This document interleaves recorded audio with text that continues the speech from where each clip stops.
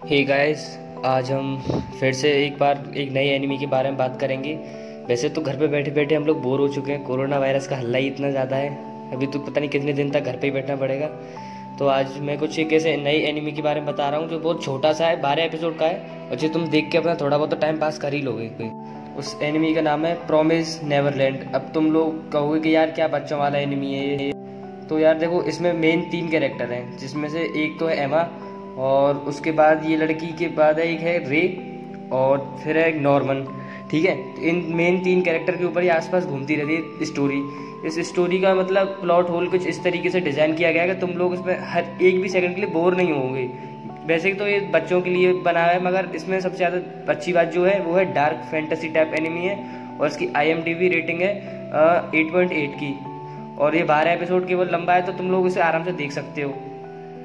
इसकी स्टोरी को मैं स्पॉइल नहीं करूँगा और ना ही इसके बारे में मैं तुम्हें ज़्यादा कुछ बताऊँगा। बस इसमें इतनी सी बात तुम लोगों को ध्यान रखने की है कि ये इसमें जो बच्चे हैं वो अनाथालय में रहते हैं और बारह साल तक के जो बच्चे होते हैं, बारह साल से नीचे नीचे एज वाले बच्चे रहते हैं और इन बच्चों को हमेशा एक वॉल के पीछे रहना होता है, ठीक है?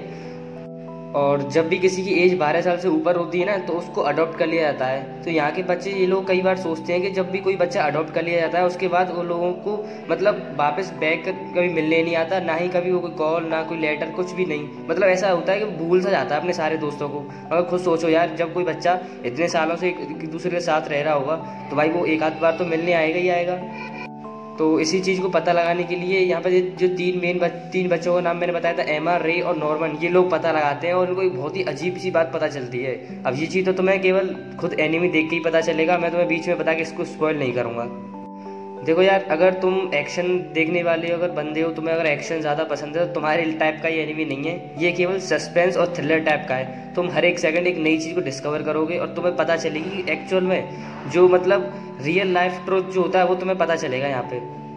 इस स्टोरी को मतलब मेरा इस तरीके से बताने का एक और मतलब है, जैसे कि अभी हम लोग घर में बैठे हैं तो हमें पता चल रहा है कि मतलब लाइफ कितनी ज़्यादा बोरिंग है। ऐसे ही सेम जानवरों के साथ भी तो ऐसे ही होता है, वो लोग मतलब पिंजरे बंद किया जाता है। अब हम लोगों को पता चल रहा है कि हम लोग घर में रहते हैं तो हमें कितना अजीब लगता है। तो सोचो जानवरों को कैसे लगता होगा। यही बिल्कुल इस चीज़ स्टोरी में भी यही चीज़ है। जब तुम लोग देखोगे इस स्टोरी में तो पता चलेगी इसमें कितना मतलब हार्ड रियलिटी ऑफ़ लाइफ है। और तुम लोग मतलब तुम्हारा दिमाग एकदम खुल के बाहर रख जाएगा। तुम्हें पता चलेगी कि मतलब इंडिया की जो पिक्चर है नॉर्मल सी होती हैं या फिर कोई भी हॉलीवुड पिक्चर है उनसे आगे भी कुछ स्टोरी होती है।